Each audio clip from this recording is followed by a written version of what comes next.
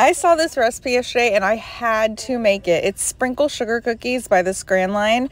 And if you have these ingredients, go make this right now. It has sprinkles in the batter and on the outside.